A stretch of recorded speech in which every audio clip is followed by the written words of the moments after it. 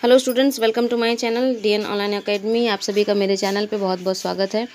आज जो वीडियो आपके साथ शेयर कर रही हूँ, ये बीए फिफ्थ सेमेस्टर का थर्ड ईयर फिफ्थ सेमेस्टर का क्वेश्चन पेपर है 2021 होम साइंस यानी कि गृह विज्ञान का first paper nutrition a life cycle approach और तीन घंटे की टाइमिंग है, अस्सी नंबर का पेपर है। दस क्वेश्चन में से कोई भी पाँच क्वेश्चन आपको करने हैं। तो चलिए, चलते हैं वीडियो की तरफ़। वीडियो स्टार्ट करने के साथ ही आप लोगों से रिक्वेस्ट है कि जो लोग चैनल पर नए हैं, चैनल को सब्सक्राइब कर लें। साथ ही बेल आइकन को प्रेस कर लें ताकि आने वाले हर वीडियो का नोटिफिकेशन आपको टाइमली मिलता रहे, क्योंकि मेरे इस चैनल पर आपको B A B S C B ed B T C M A और एम एड से रिलेटेड मटेरियल मिल जाएगा आपको मेरे इस चैनल पे। तो चलिए, चलते हैं पहले क्वेश्चन की तरफ़।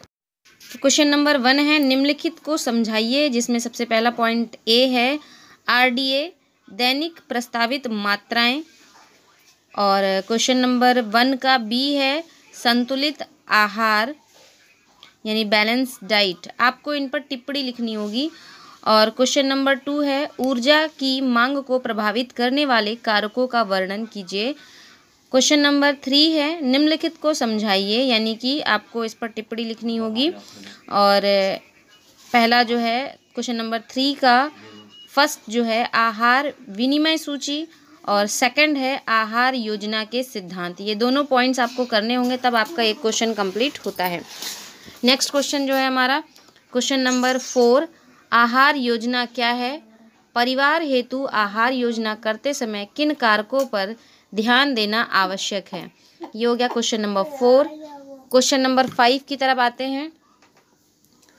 क्वेश्चन नंबर फाइव सभी क्वेश्चन जो है हमारे वो सोलह नंबर के हैं और जिनमें पॉइंट्स करके दिए हुए हैं, वो उनमें से आपको दोनों क्वेश्चन करने होंगे। क्वेश्चन नंबर फाइव जो है, स्कूलगामी बालकों की पोषण संबंधी आवश्यकताओं की विवेचना कीजिए। अगला जो पॉइंट है, यानी अगला क्वेश्चन जो है हमारा क्वेश्चन नंबर सिक्स गर्भावस्था में पोषण एवं संतुलित आहार के महत्व पर प्रकाश डालिए। फिर क्वेश्चन नंबर सेवन है, किशोरावस्था में पोषण तत्वों की मांग की विस्तृत विवेचना कीजिए। फिर क्वेश्चन नंबर आठ, निम्नलिखित पर टिप्पणी कीजिए। इसमें भी आपको टिप्पणी करनी है, यानी कि जितने पॉइंट्स दिए हैं, जब आप ये सारे पॉइंट्स कंप्लीट करेंगे, तब आपका एक क्वेश्चन कंप्लीट होता है। क्वेश्चन नंबर आठ का क्वेश्चन नंबर वन है, उपचारात्मक आहार। इस पर आपको टिप्पणी लिखनी है। क्वेश्चन नंबर आठ का पॉइंट टू जो है, सामान्य, कोमल और तरल आहार। इन पर आपको टिप्पणी लिखनी है। नेक्स्ट क्वेश्चन जो है हमारा question number nine question number nine है, ज्वर के समय पोषक तत्वों की मांग में किस प्रकार परिवर्तन किए जाते हैं? कोई भी क्वेश्चन का आंसर आप देते हैं, क्योंकि सोलह सोलह नंबर के क्वेश्चन हैं तो आपको कम से कम पाँच से छः पेज का एक आंसर लिखना होगा। इस चीज़ को आपको ध्यान रखना है। नेक्स्ट क्वेश्चन जो है, क्वेश्चन नंबर लास्ट टेन। निम्न पर टिप्पणी कीजिए। क्वेश्चन नंबर टेन का जो पॉइंट वन है, यानी क्वेश्चन नंबर वन है, वो है डायबिटीज़, यानी मधुमेह में आहार। अगर कोई डायबिटिक है तो उसका क्या आहार होगा, उसके बारे में आपको टिप्पणी करनी है। दूसरा है, उच्च रक्तचाप में आपका आहार। तो ये क्वेश्चन हो गए। आज का वीडियो मिलेंगे अगले वीडियो में। तब तक के लिए आप सभी लोग पढ़ते रहिए आगे बढ़ते रहिए और डिस्क्रिप्शन बॉक्स को चेक करना मत भूलिएगा। डिस्क्रिप्शन बॉक्स में आपको प्लेलिस्ट अवेलेबल होगी।